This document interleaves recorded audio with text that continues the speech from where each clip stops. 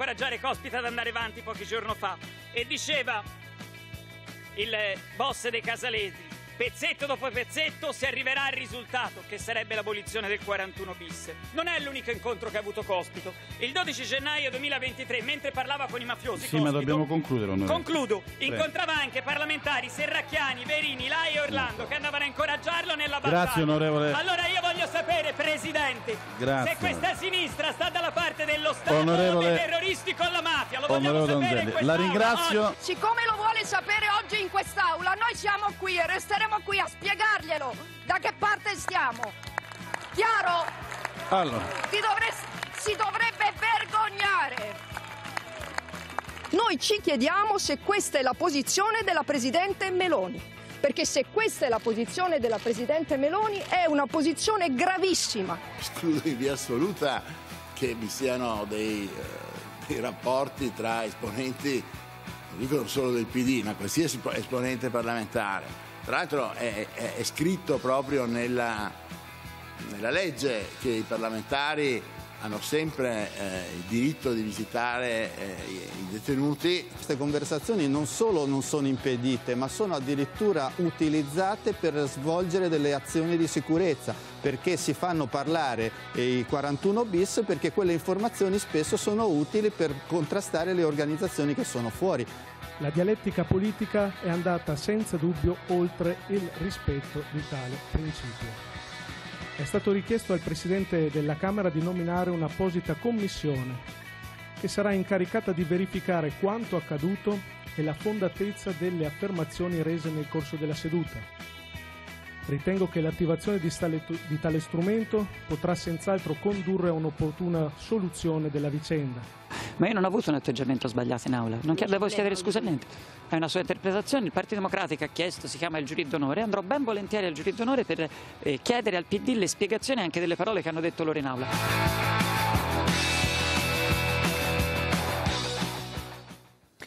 Buongiorno cari telespettatori, allora ieri nell'aula della Camera è scoppiata una vera e propria bomba eh, politica, ad innescarla come avete visto, come senz'altro saprete, eh, Giovanni Donzelli che è vicepresidente del COPASIR, il Comitato sui Servizi Segreti ed è un fedelissimo eh, di Giorgia Meloni. Eh, diciamo la vicenda è nota, prima ha raccontato di conversazioni eh, tra mh, l'anarchico Cospito e altri detenuti al 41 bis, esponenti della criminalità organizzata, eh, diciamo per incoraggiare eh, la lotta no, al carcere duro, contro il carcere duro, poi è andato all'attacco del Partito Democratico, eh, quattro esponenti dei Dem erano andati a trovare eh, in carcere e Cospito e eh, con, diciamo, provocando ha detto ma voi state, voi del PD state con lo Stato o state con i terroristi o con la mafia. È stato annunciato, avete sentito le parole del Presidente eh, Fontana, un giurì d'onore per verificare appunto la correttezza anche delle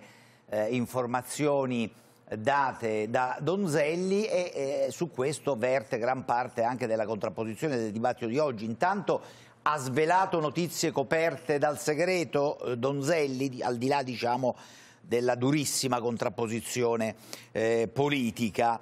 Eh, intanto Cospito, che come sapete è stato trasferito nel carcere di Opera, ha intenzione, l'ha detto chiaramente, di continuare lo sciopero della fame che dura da oltre eh, 100 eh, giorni e nel pomeriggio, oggi pomeriggio, il ministro Nordio terrà un'informativa su tutta questa vicenda alla Camera. L'altro tema di cui si dibatte molto e che eh, fa fibrillare non soltanto la maggioranza, è l'autonomia regionale, l'autonomia differenziata. Domani in Consiglio dei Ministri arriva il disegno di legge firmato da Calderoli.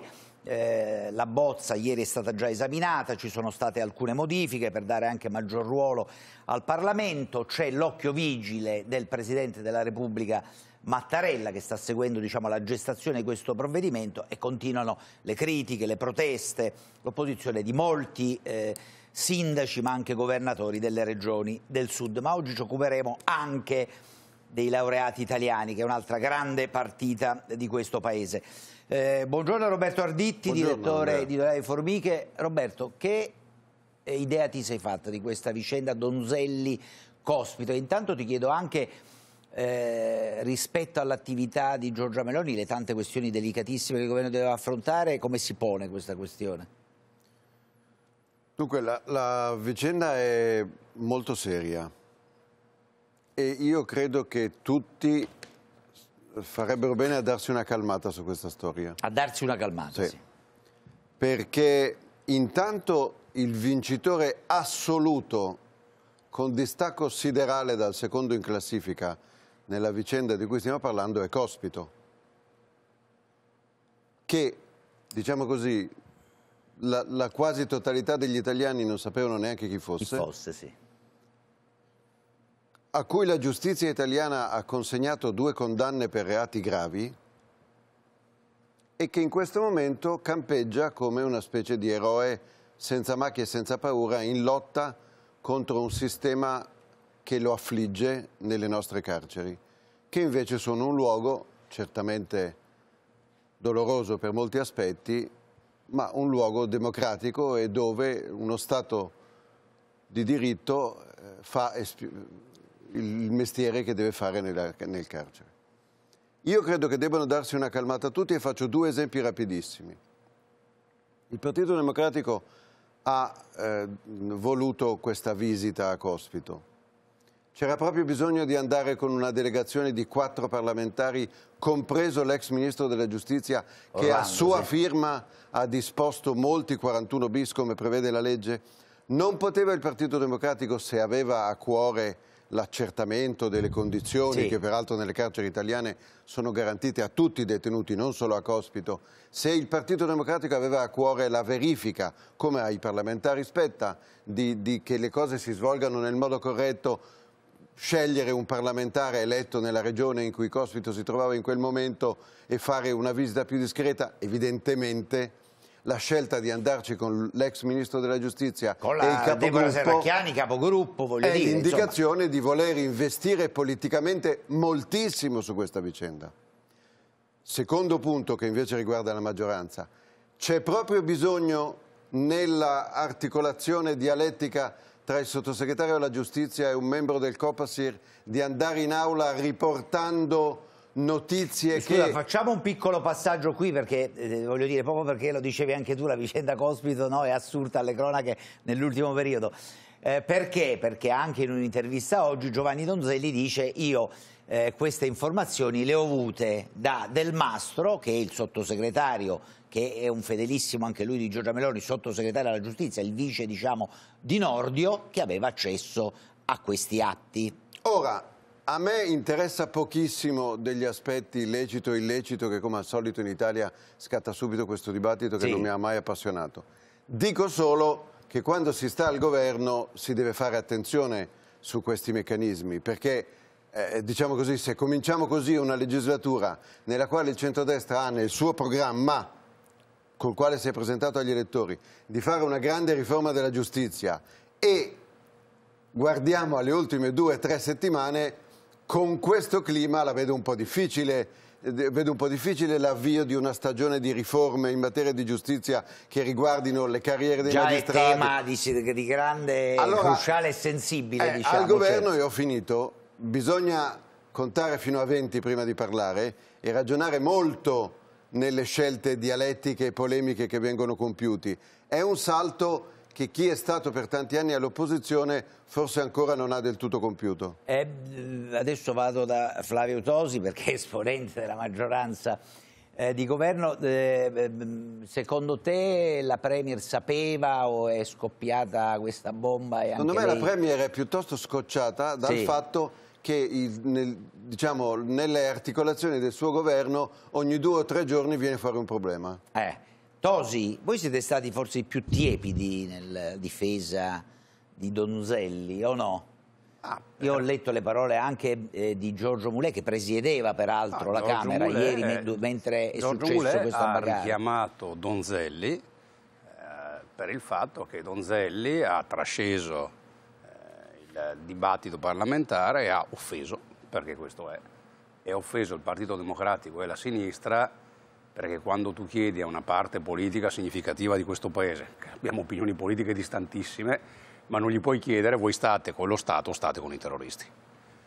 Perché è evidente, l'ha detto lo stesso Nordio che è della stessa parte politica di Donzelli, che non c'è nessun parlamentare, nessun partito che sta con i terroristi e contro lo Stato.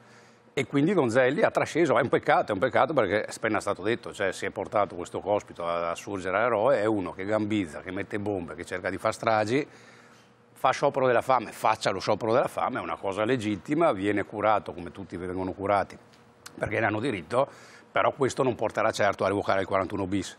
Fare tutta questa manfrina eh, intorno a Cospito rischia anche l'emulazione perché poi di teste calde... Ecco, con il rischio che salga di la tensione, teste calde in giro ce ne sono sempre, eh, certo, teste calde no? ce ne sono sempre, quindi continuare a parlare di sto Cospito non fa bene a nessuno.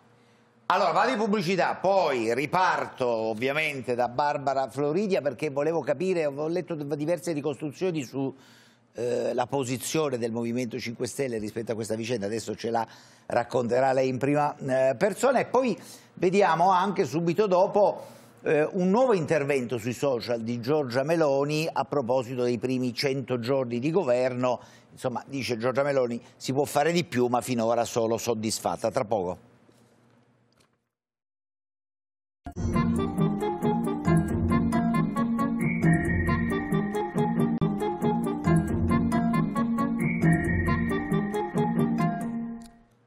Allora vado dalla senatrice Floridia, così cerchiamo di, eh, avere, di mettere a fuoco qual è, stata, eh, qual è la vostra posizione rispetto a questa vicenda. La posizione del Movimento 5 Stelle è chiara rispetto sicuramente al 41 bis che come istituto non si tocca, questo è stato ribadito anche in aula. Per quanto riguarda la posizione di Cospito, chiaramente ci eh, rimettiamo alla magistratura perché è giusto che non è certo la politica che definisce chi deve stare sotto un regime piuttosto che un altro, eh, chiaramente la salute del detenuto va tutelata e così sta accadendo, invece mi permetta di dire che gravissimo è ciò che è accaduto in aula ieri, Donzelli si è manifestato non all'altezza eh, di rappresentare eh, il, i cittadini italiani, è molto grave ciò che ha detto per diverse ragioni. Innanzitutto perché è palese che ha eh, detto qualcosa che andava tenuto segreto e vogliamo capire e sapere perché lui era a conoscenza di quelle informazioni. Ricordiamo che è vicepresidente del Copasir e credo che abbia una posizione delicata. Lui ha Gravissimo... ribadito eh, già da ieri che non sono eh, informazioni che riguardano il Copasir, quelle che lui ha avuto, ma che ha fatto delle domande al collega del, del mastro, mastro delle vedove, ripeto, sottosegretario della ancora... che gli ha risposto Peggio mi sento ancora più grave che un sottosegretario insomma, comunichi che poi queste informazioni vengano così diffuse eh, in aula, soprattutto utilizzate per attaccare un'altra forza politica e mi permetta, in un momento, quindi anche in maniera inopportuna, in un momento in cui andavamo a istituire la commissione antimafia con mesi di ritardo. Perché eh, peraltro scusi, questa vicenda è passata sta... assolutamente in secondo piano la, ed è stata istituita la nuova commissione antimafia? Finalmente sì, eh, lei pensi che abbiamo dire. praticamente dovuto fare le liste delle regionali senza avere la commissione antimafia, quindi con un ritardo pazzesco e quindi cosa si denota? Una classe dirigente palesemente inadeguata di questo governo e inoltre una maggioranza spaccata perché è evidente come le altre forze politiche, ma eh, Fontana stesso si sono sentiti eh, imbarazzati da queste esternazioni di Donzelli tanto che hanno preso anche le distanze diverse forze politiche come Forza Italia. Quindi noi siamo veramente preoccupati perché il Paese è in mano a persone inadeguate e che possono mettere a rischio anche la sicurezza del Paese. Allora, do due notizie. Stamattina intanto Donzelli in un'intervista ha detto non ho nessuna intenzione di dimettermi da vicepresidente del Copasi. Questa è la prima notizia. Poi a proposito di opposizione c'è un tweet di poco fa di Carlo Calenda, il leader di Azione, eh, in, cui, eh, si, in, cui, Calenda scrive del Mastro non può rimanere al DAP, che è il Dipartimento dell'Amministrazione Penitenziaria, spieghiamo, lui ha le deleghe da parte del Ministro eh, alla Polizia Penitenziaria, tra l'altro, eh, e questo scrive mh, mm, eh, Carlo Calenda. Eh, intanto voglio salutare eh, la professoressa Barbara Quacquarelli Buongiorno. che è qui eh, con noi e tra poco interverrà, che insegna organizzazione aziendale all'Università Milano eh, Bicocca e peraltro insegna anche eh, alla Scuola Nazionale della Pubblica Amministrazione. Faccio questa prima parentesi presentandola perché lì si formano i dirigenti della pubblica amministrazione che sono merce rara in questa fase di PNRR o no? È un punto focale perché abbiamo le risorse economiche e in qualche modo abbiamo bisogno delle risorse umane in termini sia di persone e di competenze per riuscire a sviluppare i progetti che sono all'altezza Mm. delle aspettative che si hanno Ma sul eh, PNRR. c'è in questa fase appeal per la pubblica amministrazione?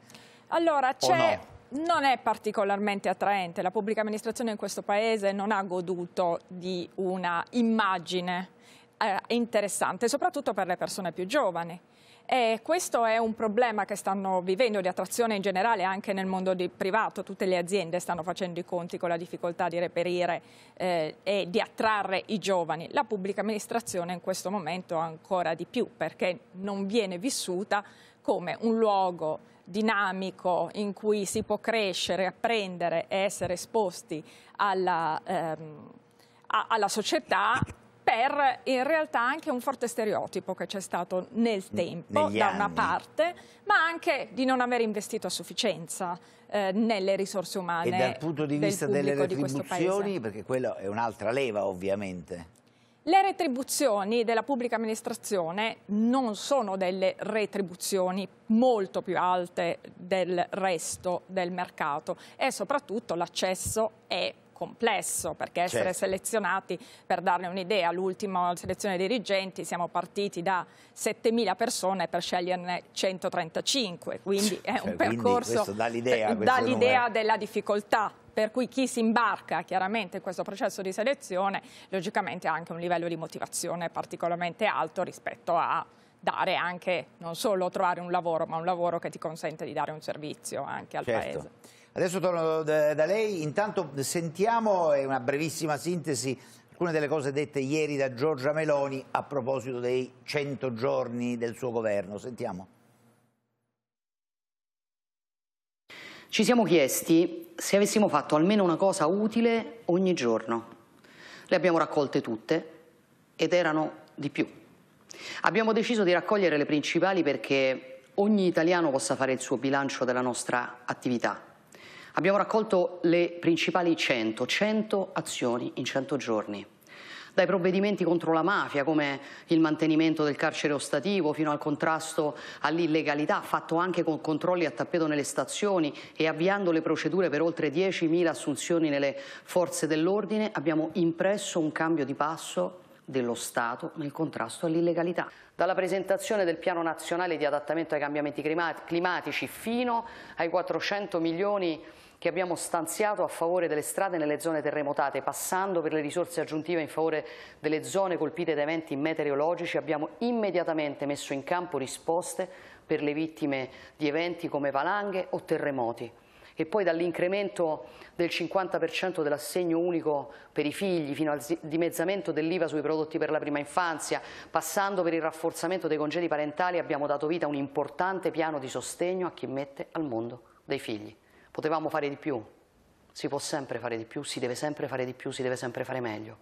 Ma io sono soddisfatta del fatto che non sia passato neanche un giorno, sabati, domeniche, feste comprese, senza che abbiamo tentato di dare almeno una risposta, sempre dalla parte dell'Italia.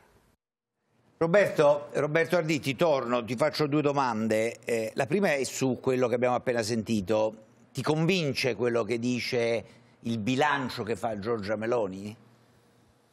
Ma insomma il governo ha fatto quello che poteva e che doveva fare essendo all'avvio di una stagione politica nuova eh, con un Presidente del Consiglio che negli ultimi dieci anni da quando è nato il suo partito è stato ininterrottamente all'opposizione, una coalizione di governo che al suo interno ha ribaltato i rapporti di forza e che in quanto tale non governa dal 2011 cioè da quando eh, cade l'ultimo governo guidato da Silvio Berlusconi. Insomma, in questo eh, scorcio finale di 2022 il governo ha fatto una legge di bilancio tranquilla, ha portato a casa i- gli obiettivi semestrali del piano nazionale di ripresa e resilienza e ha ottenuto quindi la tranche di versamento europeo che al governo spettava e ha iniziato ad occuparsi di alcune altre cose. Che però adesso c'ha delle sfide da far tremare le vene ai Ah, Quindi, polsi. quindi la mia opinione è che quello che si poteva fare e quello che il governo poteva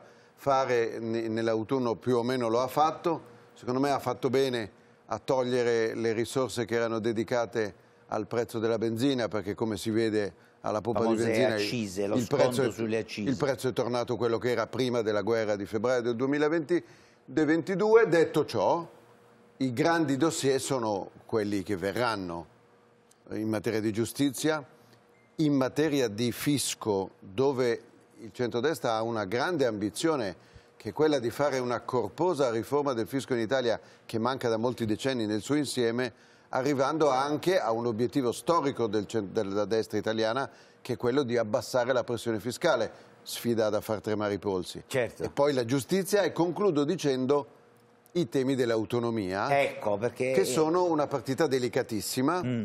Eh, ecco, questi sono i dossier veri, per cui io direi il governo ha fatto nei primi mesi quello che doveva essere fatto, adesso cominciano le partite complicate. Ecco, peraltro io, lo fanno molti quotidiani in questi giorni, eh, leggevo delle competenze che sono tante, che alcune, alcune regioni ne chiedono di più, altre meno, eh, che insomma eh, riguardano questa autonomia differenziata e, e, poi bisognerebbe dedicare una puntata intera a tutto questo, anzi più puntate, poi vedremo perché domani in Consiglio dei Ministri si darà certamente il via libera alla bozza di disegno di legge, poi ci sono dei passaggi, c'è eh, le regioni che devono esprimersi, la conferenza Stato-Regioni, credo che poi si debba tornare in Consiglio dei Ministri, insomma è un percorso mh, eh, lungo, però eh, leggendo eh, quelle che sono eh, le materie che le regioni potrebbero chiedere c'è di tutto, dall'energia alla scuola, oltre quello, eh, le competenze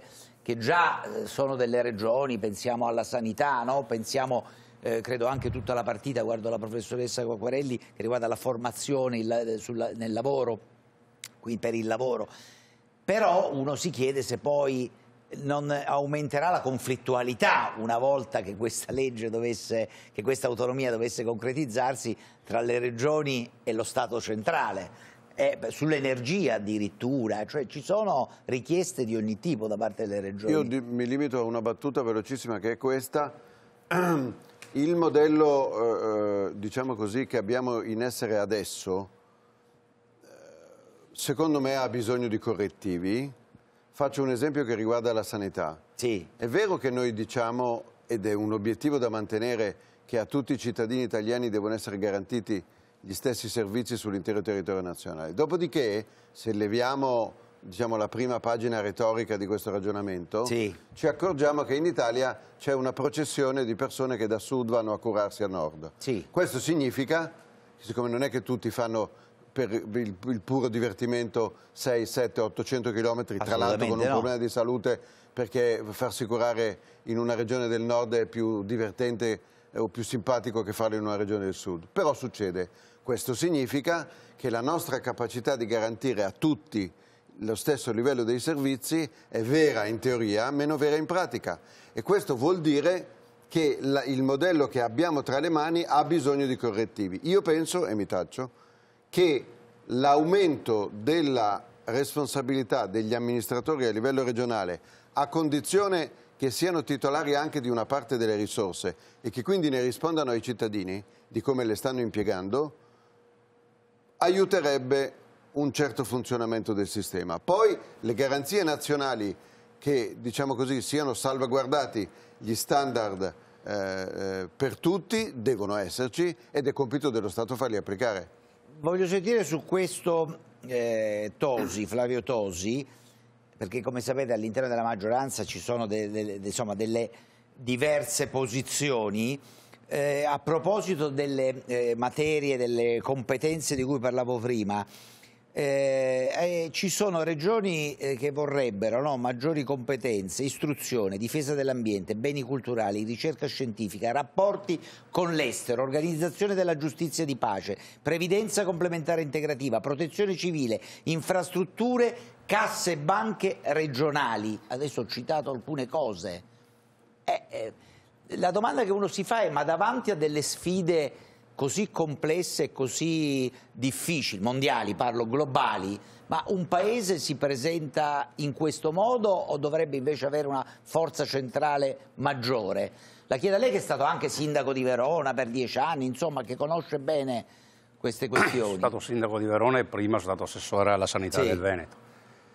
E quindi eh, su questo tema posso aggiungere che in realtà non è che le regioni del sud ricevono per la sanità meno risorse di quelle del nord, il problema è che le hanno spesi peggio. Eh, ogni anno c'è il riparto del Fondo Sanitario Nazionale, che è un pro capite corretto per età, per patologie, per una serie di indicatori, però è un pro capite, quindi in base agli abitanti sostanzialmente. E ogni anno c'è un fondo aggiuntivo per le regioni del sud per riportarle in pari.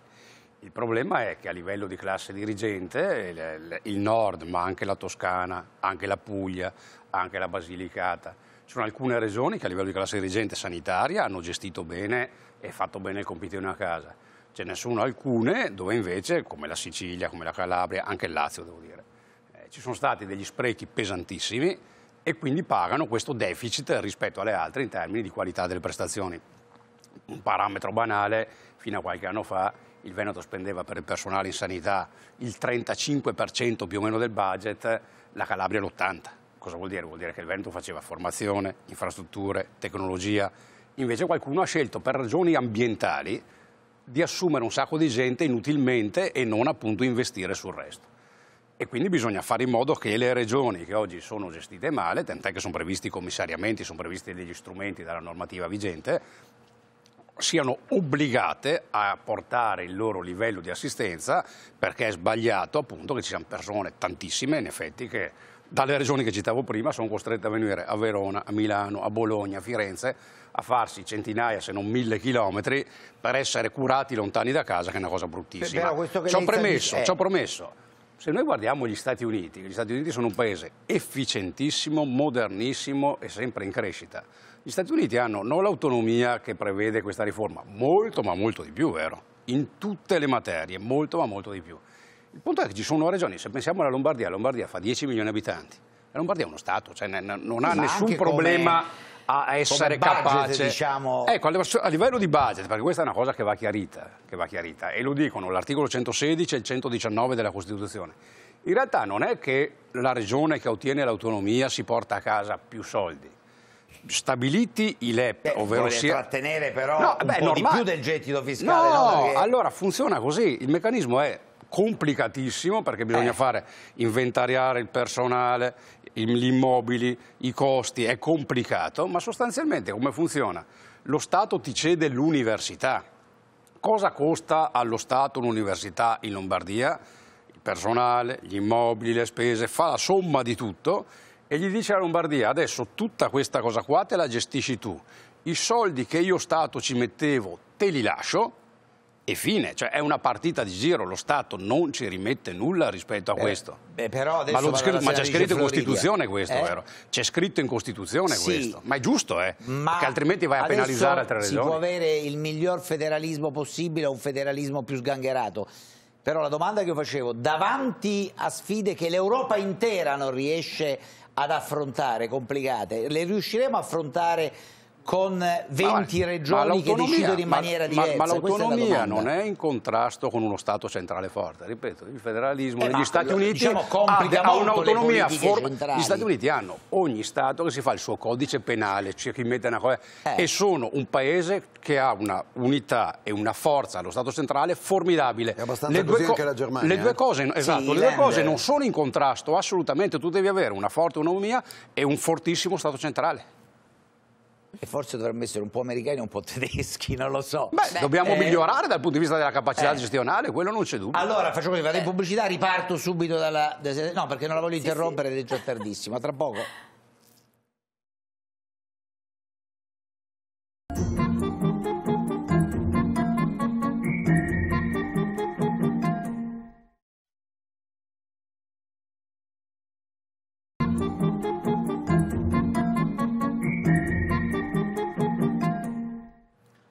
Allora, come promesso, vado dalla senatrice Floridia per sapere un po', per capire da lei, eh, anche qui, eh, qual è, quali sono nel dettaglio le vostre contrarietà sull'autonomia differenziata.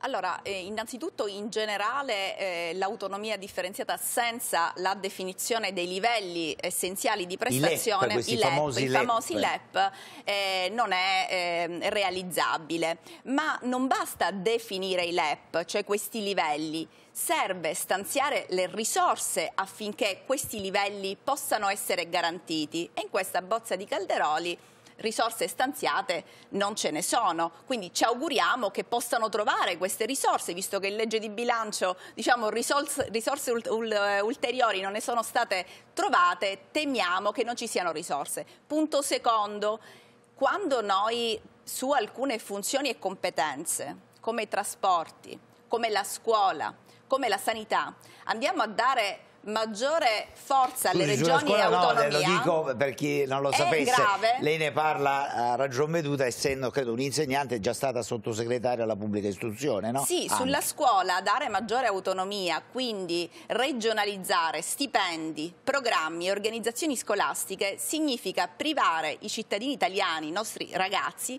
del medesimo diritto allo studio. Mi spiego meglio. Il eh, diploma, quindi il valore di un diploma, dopo che noi andiamo a regionalizzare, a fare sistemi scolastici differenti, avrebbe un valore da regione a regione diverso. Questo è molto grave. E inoltre, penso per esempio ai trasporti, andare a regionalizzare l'autonomia rispetto all'organizzazione dei trasporti sarebbe un danno incredibile per il nostro sistema paese, così come l'energia e mi spiego meglio rispetto alla, ad un'altra grave eh, situazione che si andrebbe a creare con l'autonomia.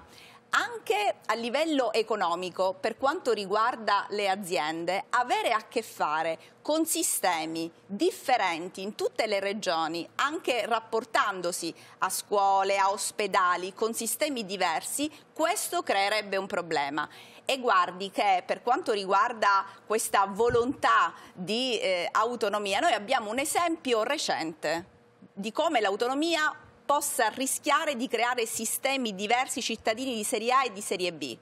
Durante il Covid, se vi ricordate, alle regioni, ai presidenti di regione, Una è stato dato, è stato dato più potere anche per quanto riguarda le scuole. Si ricorda scuole aperte e scuole chiuse? Noi ad oggi ancora paghiamo il prezzo di quelle regioni che hanno deciso di tenere le scuole più chiuse rispetto all'indicazione nazionale del ministro di allora che era quella di tenerle aperte e abbiamo una povertà educativa che è aumentata proprio perché in quello specifico momento è stata data più autonomia alle regioni e questo ha creato una disparità. Quindi abbiamo un esempio pratico. E quando Tosi parla degli Stati Uniti come esempio virtuoso, storicamente l'esempio non tiene, perché lì è al contrario l'autonomia. Stati forti e autonomi hanno deciso di mettersi insieme. Qui è al contrario, uno Stato unitario che invece decide di dividersi. Quindi non storicamente che... non c'entrano nulla gli Stati Uniti. è una parola un po' grossa. Po po eh, posso?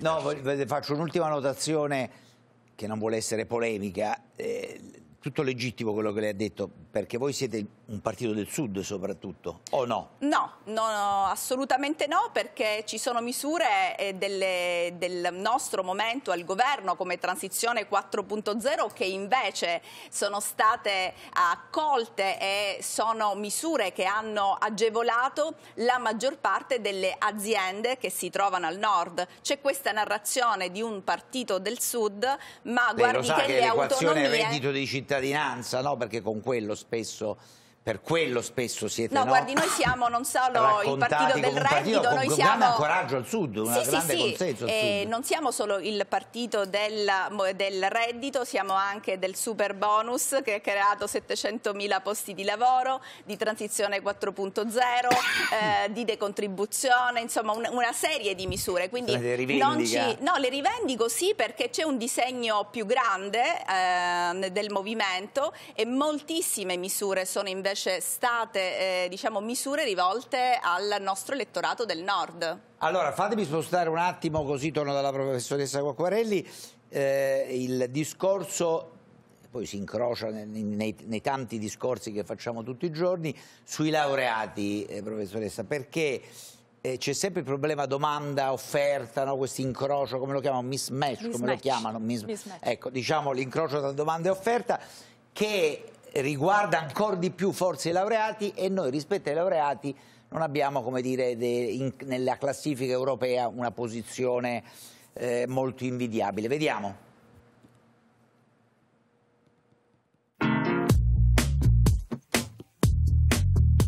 Economisti, ingegneri, personale medico-sanitario, matematici, ma anche filosofi. Lo scorso anno è cresciuta la domanda di laureati da parte delle imprese, ma i datori di lavoro, secondo i dati di Union Camere e Ampal, in quasi un caso su due hanno avuto particolari difficoltà a reperire le professionalità di cui hanno bisogno e i posti rimangono vuoti per mesi. Ma innanzitutto l'Italia ha una bassa percentuale di laureati rispetto alla popolazione. Poi c'è un problema di orientamento. Un orientamento ben fatto vuol dire un orientamento che comincia già alle scuole medie inferiori. C'è un terzo problema che riguarda la demografia. Ci sono sempre meno ragazzi in Italia e infine aggiungerei un ultimo elemento, una quota percentuale dei laureati, specialmente nelle materie STEM, vanno all'estero per trovare poi un'occupazione adeguata e rispondente alla carriera accademica e universitaria che hanno fatto.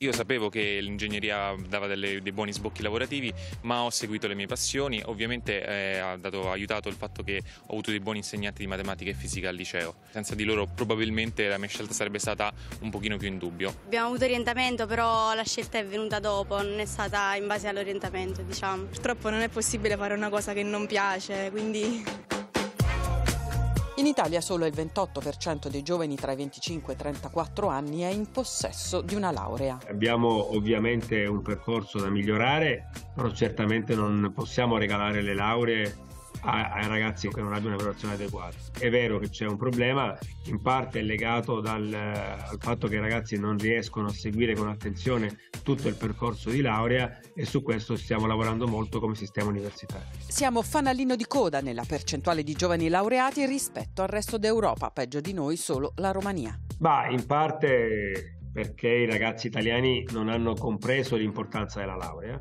in parte perché il mondo delle imprese spesso non ha gratificato come giusto che sia, come noi vorremmo nell'interesse dei nostri laureati, il valore della laurea. Oggi la laurea è un po' come era vent'anni fa il diploma e non è così. Un laureato va remunerato correttamente.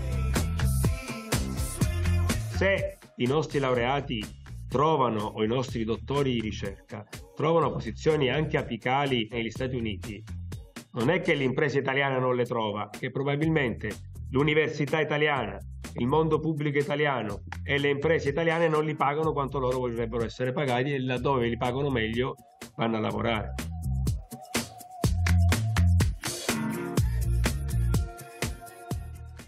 Allora, eh, Barbara Quacquarelli, ma il problema sono, è, la, è, come vengono pagati, remunerati, adesso al di là del problema che ne abbiamo pochi dei laureati rispetto ad altri paesi, però la vera leva, quello che potrebbe ingolosire è un paese dove il privato, ma anche il pubblico, prima lei lo accennava riguardo alla pubblica amministrazione, eh, eh, cominciano a capire che o si pagano per le competenze che hanno questi, questi ragazzi, questi giovani e poi man mano anche eh, crescono, no? Eh, oppure dobbiamo rassegnarci all'idea che vadano a lavorare fuori?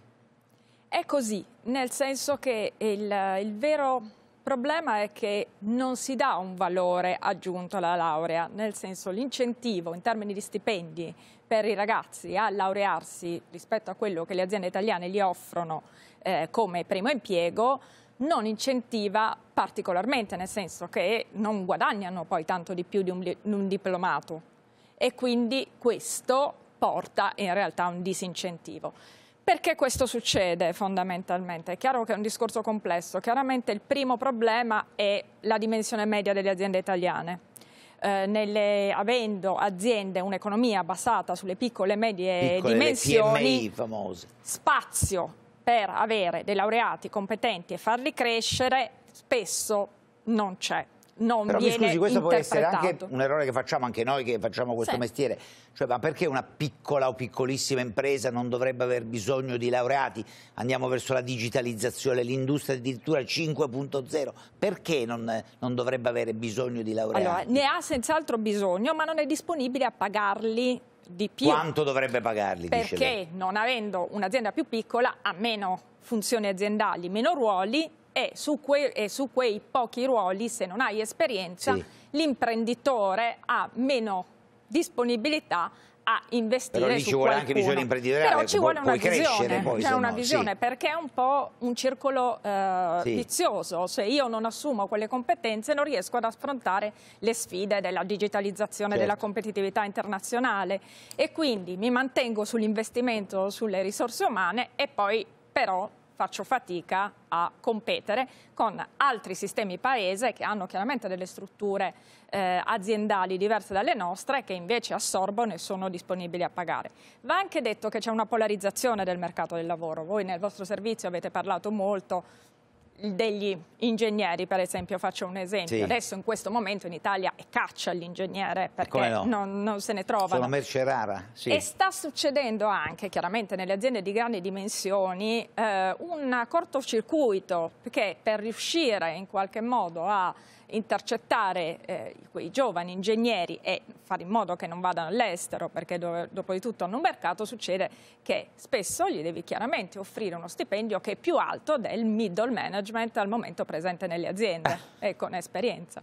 E certo. Ma Poi torno da lei con una domanda, è arrivato Paolo Sottocorona. Paolo ti chiedo grande sintesi, è colpa mia, sono in grande ritardo, ma era molto interessante questo Certo, ragionamento su il lavoro e le laureati. Allora, allora, abbiamo di significativo, ma vedrete molto poco, questa striscia di nuvole che sta attraversando il Mar Ligure, il Tirreno settentrionale, qualche ora fa era un po' più a nord, quindi si sposta verso sud, ma non porta molto, infatti se andiamo a vedere la previsione per la giornata di oggi troviamo qualche debole possibile pioggia fra Liguria di Levante e Alta Toscana e queste in realtà erano possibili nelle prime ore di, di questa, di questa mattina, dopodiché ormai non c'è più nulla e quella linea di nuvole che si sposta non porterà piogge significative neanche sulle zone del centro in Sardegna perché sono qualche debo- debole pioviggine, quindi capite di cosa stiamo parlando. Giovedì, domani, situazione ancora con qualche debole pioggia possibile soltanto in Sicilia, se no cielo sereno poco nuvoloso. E poi venerdì situazione molto simile, cioè il grigio di qualche nuvola, ma di piogge in questa fase non se ne parla. Le temperature, confermato che diciamo che salgono ancora un poco questa settimana, ma la prossima torneranno a La scendere in prossima- maniera ah, torneranno a scendere. eh sì, abbastanza Quindi sensibile. proseguono i giorni della merla eh, spostati di- sul calendario. Abbiamo bene. candelora. Grazie, subito in pubblicità, ci vediamo tra poco.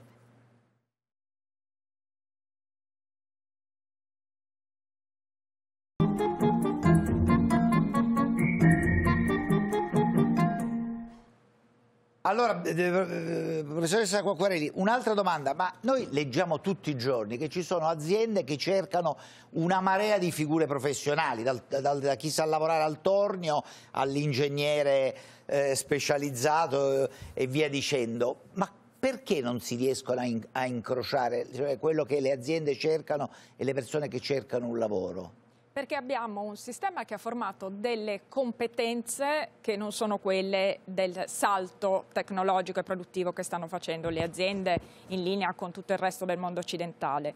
Il- in mezzo manca qualcosa, evidentemente questo qualcosa si chiama formazione.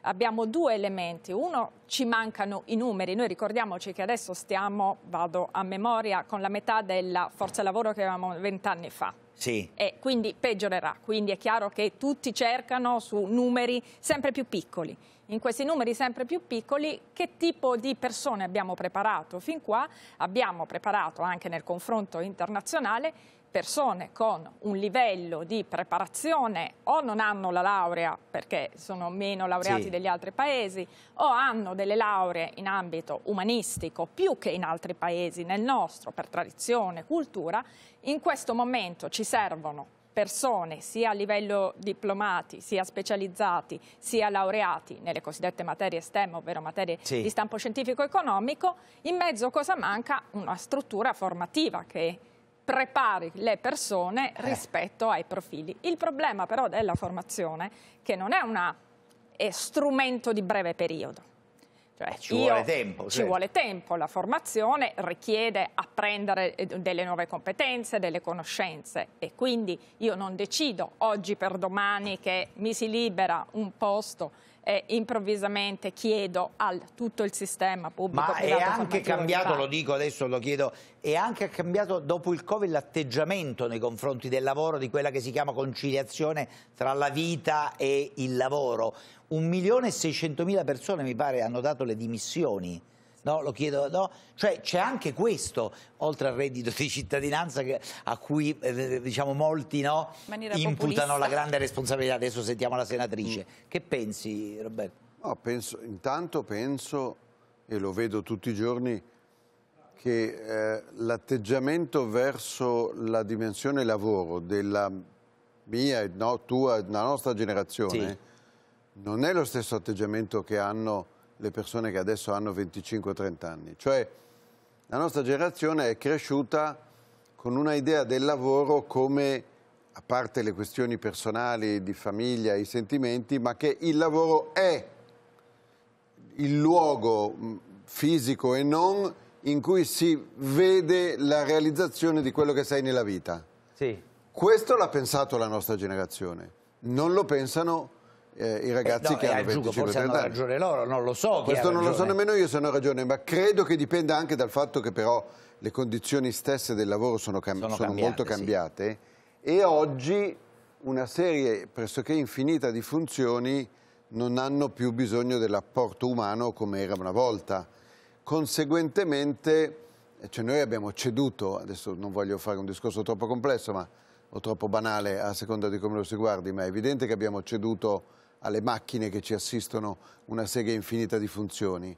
La- componente residuale è per alcuni di grande soddisfazione, ma per molti altri molto meno. Allora eh, ci- ce lo dobbiamo porre, i più illuminati ci stanno dicendo che andiamo verso un mondo quasi senza lavoro. Eh, l'intelligenza nel quale dovremo già adesso- inventare e in qualche modo il reddito di cittadinanza, faccio un salto e poi mi taccio, contiene un elemento che ci deve fare riflettere, cioè un reddito associato all'essere cittadino. Questo meccanismo, se secondo me, che non sono un patito di dare dei soldi a uno per stare seduto sul divano, sia chiaro, però ci interroga su quello che sarà il mondo del 2080 e, allo- e- e- e ci dice... Ma qualcuno come tu sai l'ha già prefigurato, Stia- eh, stiamo a casa con un sussidio di Stato, compriamo su internet quello che ci serve, questo però, eh, dico qualcuno in senso negativo, no? l'ha descritto così. Però non- diciamo, sembra un paradosso ma non siamo molto lontani da quello che potrebbe Insomma, de- succedere. dobbiamo rifletterci sopra. Eh, eh, eh, Tosi, eh, il reddito di cittadinanza in tutta questa tendenza quanto c'entra? Beh, allora ci sono due livelli anche ovviamente lavorativi. Per dire, prima si parlava della, della sanità, degli ingegneri, la pianificazione di questi numeri li fa lo Stato centrale da sempre, eh, sbagliando, eh, e lì non è una questione di colore politico del governo perché è molti anni che questo errore si trascina. In sanità, per esempio, in tutte le regioni manca personale medico, personale infermieristico, mancano gli OS, mancano i medici di base, e lo Stato sti conti qua li poteva fare banalmente perché sai quanto personale ha in servizio, non Certo. dico di aumentarlo, ma basta che pensi al mantenimento, sai quanto va in pensione, quanti ahimè decedono, da quanti C'hai ne partono. questi numeri, non e, c'è e- dubbio. e questo gestito a livello centrale è stato un disastro perché adesso Eh, ci beh, vorranno Bob, anni e posso siamo... fare una postilla. Eh, beh, chi però oggi studia e pensa magari di approdare in un pronto soccorso, con quello che si vede nei pronto soccorso, dice mi dovete pagare È bene. ovvio, noi siamo il sistema sanitario meno costoso del mondo occidentale, il 7% del PIL, gli altri spendono il 9, il 10, qualcuno Mm. il 14%, quindi sono Sì. Sottopagati. Ciò premesso, guarda- passando al reddito di cittadinanza, c'è stato un servizio su un'emittente televisione, non so se eravate voi, ma probabilmente sì, che parlava di questo ristoratore di Napoli proprio sul lungomare, un posto meraviglioso e paga anche bene, perché i, i bar e i ristoranti di un certo livello pagano bene, pagano bene, e non trovava personale, ha provato a fare 15 colloqui, non si è presen- anzi se ne è presentato uno in ritardo per dirgli non vengo. Ecco. Il reddito di cittadinanza in alcune regioni ha creato delle distorsioni terribili perché in alcune regioni, segnatamente la Campania e la Sicilia, che sono quelle che hanno percepito di più, nello stesso nucleo familiare ti arrivano spesse volte due redditi di cittadinanza E a quel punto uno conviene stare a casa e non andare a lavorare. È portato a questo, però. Attenzione che così... Perché parlo di livello di lav- lavorativo di barista, cameriere, dove non è che serva la laurea, serve la buona volontà e lo spirito di adattarsi. Senatrice. Allora, eh, superando... Sorride la senatrice, ma adesso con le parole sarà affilata, io immagino. superando questa narrazione ormai populista sentita e risentita, lo hanno cancellato il reddito, quindi non c'è più. Bene, vedremo in che misura e in che modo questi occupabili, adesso che non possono stare più come narrano, come narra la destra sul divano, se eh, troveranno posto e se finalmente i ristoratori troveranno eh, chi andrà a lavorare da loro. Staremo a vedere. Intanto ad oggi che dovevano partire questi corsi di formazione, formazione, sì. non eh, sappiamo nulla, non ce n'è neanche l'ombra. Detto questo, invece, facciamo un discorso serio dentro il quale si stava eh, diciamo, inserendo anche una misura come il reddito di cittadinanza. Il lavoro è cambiato, il mercato del lavoro sta cambiando. In questa fase di transizione, prescindendo dalla volontà di chi vuole lavorare, non ci sono competenze a volte corrispondenti alla necessità di chi cerca lavoratori e anche il concetto di lavoro è cambiato. Per noi, parlo anche della mia generazione, era un fine. Adesso è uno strumento e non importa a volte il modo, il luogo, il tempo del lavoro, ma serve soltanto per la realizzazione di me, cioè della persona. Quindi se noi politicamente non facciamo questo salto di qualità nel comprendere che è cambiato proprio il sistema e quindi a livello normativo dobbiamo assicurare Certo. che in questa fase di cambiamento e di formazione verso nuovi lavori, per questo noi nel PNRR abbiamo voluto quasi 30 miliardi per la formazione tra scuole e università e molti soldi per l'orientamento e per l'incremento dell'orientamento sugli STEM, sulle, sulle STEM, materie, sì. quindi su queste materie scientifiche, Scientifiche. perché siamo consapevoli di quello che sta accadendo in Italia e non soltanto. Quello che mi dispiace, e concludo, è che questa destra, che nel passato ha tagliato alla sanità, ricordo nel 2009 solo 9 miliardi alla scuola, per non parlare di quanto ha tagliato Il all'università fondo e alla sanitario sanità, nazionale ha non è mai stato sanità. ridotto da vent'anni a questa parte, e- mai, allora, mai ridotto da tagli- nessun governo. Allora il fondo parliamo del- nazionale. dell'unive- dell'università e della scuola. Avete tagliato miliardi e miliardi e miliardi. Ora ci vuole No, del tempo per poter. Sì, Ma non è 2009 eh, 10 miliardi. Mi Ma non sono non stati, non sono non stati, vero. non sono stati tagliati Sono 10 stati miliardi. tagliati 10 Voi miliardi. avevate Detto questo, promesso di mettere delle detto- cifre che non stavano né in cielo né in terra e qualcuno ha 2009, riportato i piedi. nel 2009 noi non c'eravamo e voi avete tagliato 10 miliardi con l'agenzia. Parlo della sinistra. Eh, e qualcuno ha no, riportato vi i piedi interrompo un attimo perché voglio chiedere una cosa alla professoressa Quacquarelli, un po' delicata, no?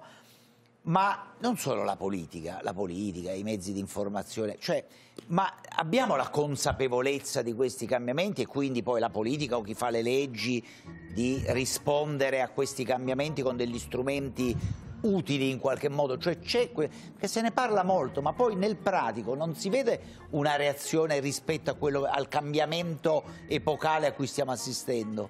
No, si fa un po' di chiacchiere sociologiche, però Ecco. non arrivano dei- delle idee e dei progetti. E quando parlo di questo dico che se abbiamo un problema di formazione c'è una responsabilità, un impegno da parte del pubblico, però mi chiedo anche dove sono i privati. Sì. Perché se eh, la formazione costa, piace certo o non piace, è un inve- Soprattutto se fatta bene. va eh, intesa come un investimento e Sì. se è un investimento su una risorsa scarsa vuol dire che tutti gli attori di questo sistema, sia pubblici sia privati, ovvero le aziende, la devono vivere non qualcosa che deve fare qualcun altro, ma bisogna collaborare perché sia per le risorse economiche del paese sia per la situazione in cui siamo, evidentemente non può essere tutto incremento di spesa pubblica. Sì. Allora su questo poco, ho visto nascere qualcosa, il progetto sui famosi istituti tecnici che dovrebbero in Sì. qualche modo eh, dare una linfa rispetto a soprattutto alcune eh, figure che mancano e che in altri paesi ci sono, si è citata la Germania, e in cui anche qui in però si è perso un po' il focus, ma soprattutto non mi sembra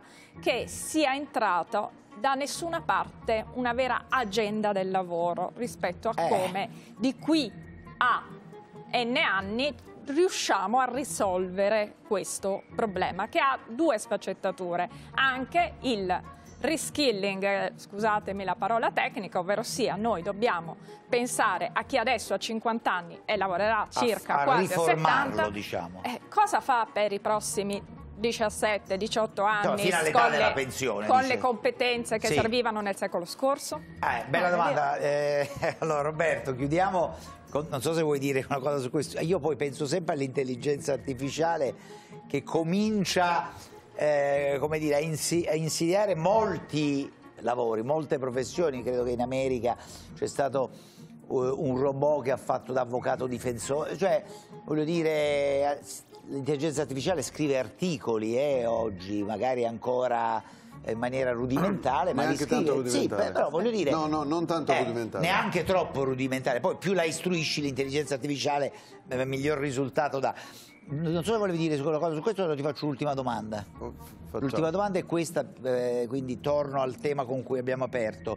Eh, Donzelli e Del Mastro devono fare un passo indietro? Sarà qualcuno di loro obbligato a fare un passo indietro? O secondo te no? Come finisce questa storia? Guardo alla vicenda sul piano politico. Se la maggioranza a due mesi e mezzo, tre mesi dall'insediamento del governo comincia a, a- tra l'altro su uno dei temi qualificanti del programma di governo, la giustizia, comincia a prendere alcuni dei suoi esponenti politicamente più significativi e gli fa fare dei passi indietro, possono direttamente prendere i progetti di riforma in materia di giustizia, chiuderli in cassaforte e abbandonare la partita per questa legislatura.